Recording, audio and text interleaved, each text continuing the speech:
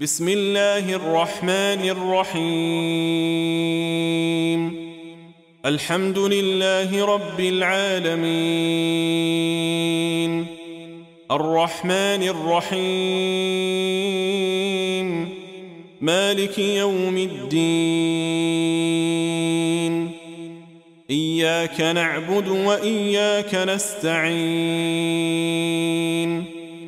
اهدنا الصراط المستقيم.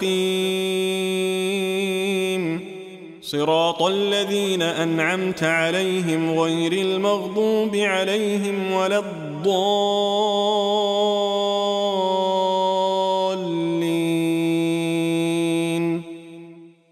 أسرار الفاتحة.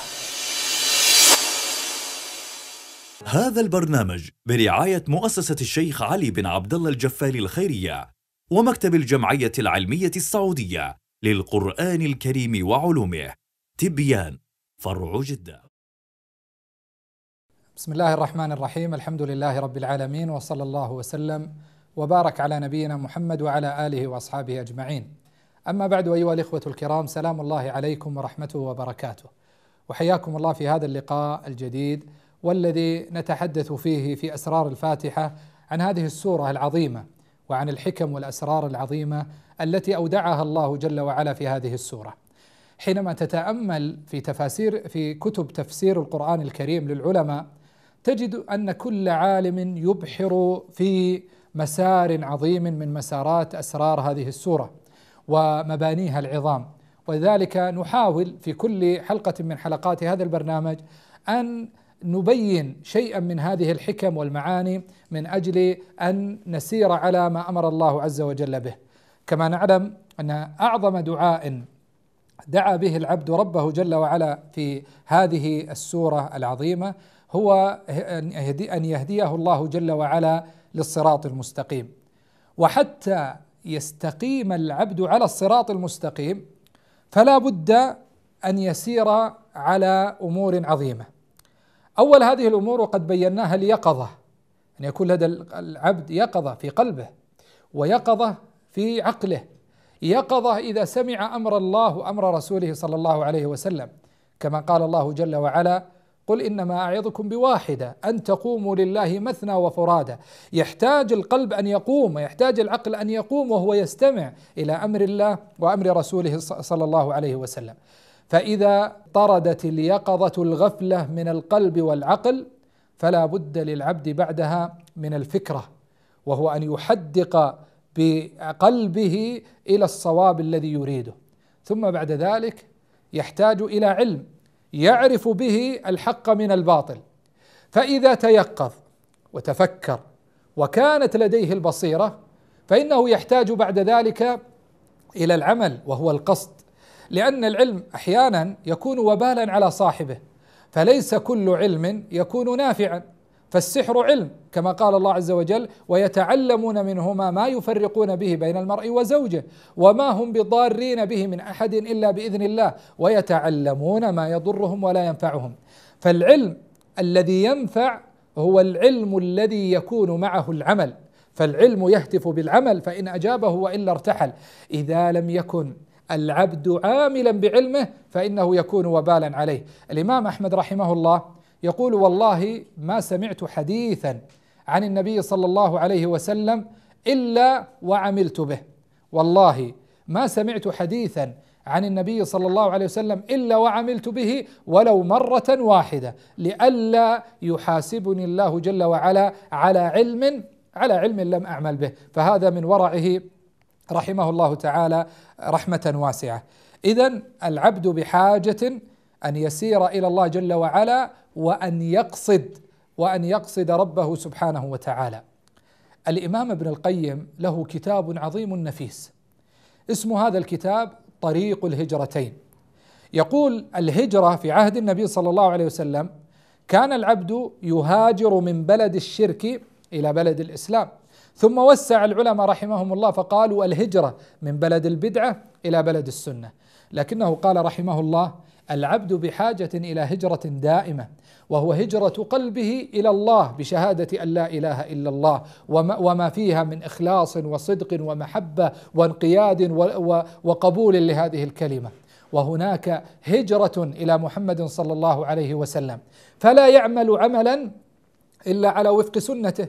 ولا يتبع خطوة إلا على وفق شريعته لأن كل عمل لم يكن على منهج رسول الله صلى الله عليه وسلم فهو مردود على صاحبه. في صحيح البخاري ومسلم عن أمنا أم المؤمنين عائشة رضي الله عنها وأرضاها قالت قال رسول الله صلى الله عليه وسلم من أحدث في أمرنا هذا ما ليس منه فهو رد أي مردود عليه. وفي رواية لمسلم من عمل عملا ليس عليه أمرنا فهو رد. فالعبد بحاجة إلى هذه الهجرة هجرة إلى الله وهجرة إلى رسوله صلى الله عليه وسلم. يهاجر من نفسه ومحبوباتها إلى الله وما يحبه سبحانه وتعالى. يهاجر من نفسه ورغباتها إلى ما يحبه صلى الله عليه وسلم. لأنه عليه الصلاة والسلام قال لا يؤمن أحدكم حتى يكون هواه تبعا لما جئت به. وقال عليه الصلاة والسلام في بيان تقديم محبته قال لا يؤمن أحدكم حتى أكون أحب إليه من نفسه وماله وأهله وولده والناس أجمعين وهكذا يجب أن يكون المسلم في سيره إلى الله. وليسير العبد في هذا القصد في قصد سيره إلى الله إلى مراد الله ومراد رسوله صلى الله عليه وسلم فلا بد أن يبتعد عن عوائق السفر. هناك من ما يعوق القلب في سيره إلى الله. هناك حجاب بين القلب وبين الله جل وعلا.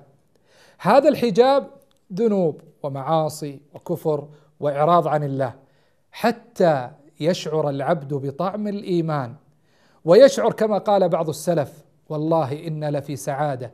كما قال بعض السلف والله إنه لا يمر بالقلب أوقات.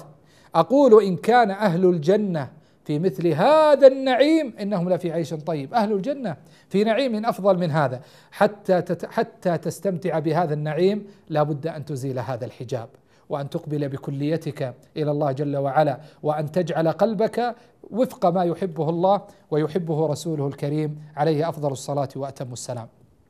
عوائق السفر كثيرة، هناك العوائد التي يعتادها الناس من اتباع للهوى ونحو ذلك، هناك العلائق المال النساء الدنيا علائق يتعلق بها العبد تحول بينه وبين الله وهناك عوائق تحجب العبد عن ربه سبحانه وتعالى وسيأتي تفصيلها بإذن الله جل وعلا.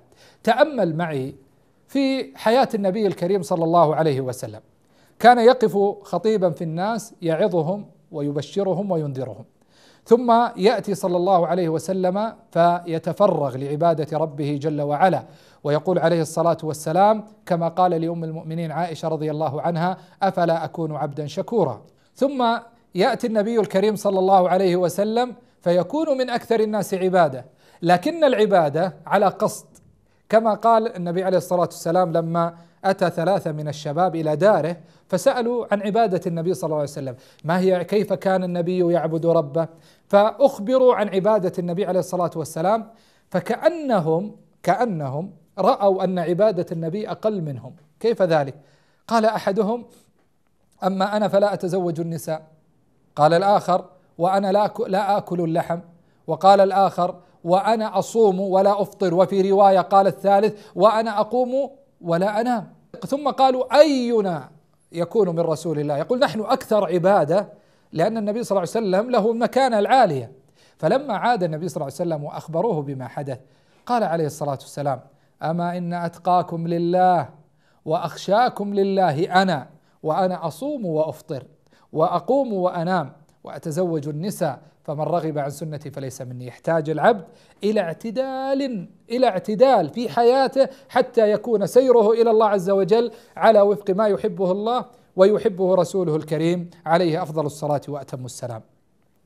القصد حتى يكون صحيحا فإن له دوافع فالقصد يبعث على السلوك بلا توقف ولا تردد ولا علة غير العبودية.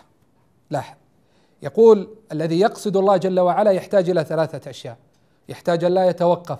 العبادة ليست لها موسم وتترك العبادة كما يظن البعض في قول الله جل وعلا. يقول لك أنا أنا تركت العبادات وسقطت علي عني الفرائض. لماذا تسقط عنك الفرائض؟ قال لأنني وصلت إلى مرتبة اليقين. والله جل وعلا قال واعبد ربك حتى يأتيك اليقين. فأنا وصلت إلى هذه المرتبة فتجد أنه يستحل المحرمات ويستحل ويترك الواجبات ويبتعد عن فرائض الله وينتهك حرمات الله لأنه وصل إلى اليقين. وهذه للأسف موجودة في بعض الطرق والمناهج التي يدعي صاحبها أنه يسلك في ذلك طريق ما طريق النبي صلى الله عليه وسلم.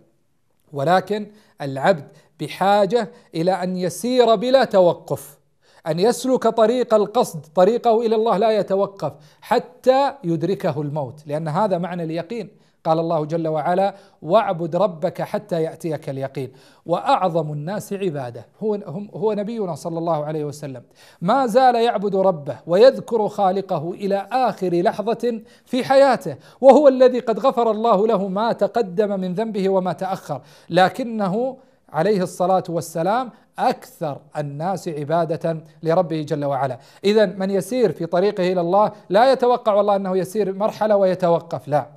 هو يتدرج حتى يجد نعيم الجنة في الدنيا قبل أن يجدها في الآخرة، فلا يتوقف، الذي يوقف الإنسان في سيره إلى الله يوقفه الشهوة، يوقفه الهوى، يوقفه الكسل، توقفه الدنيا توقفه الأموال يوقفه الشيطان في سيره إلى الله جل وعلا.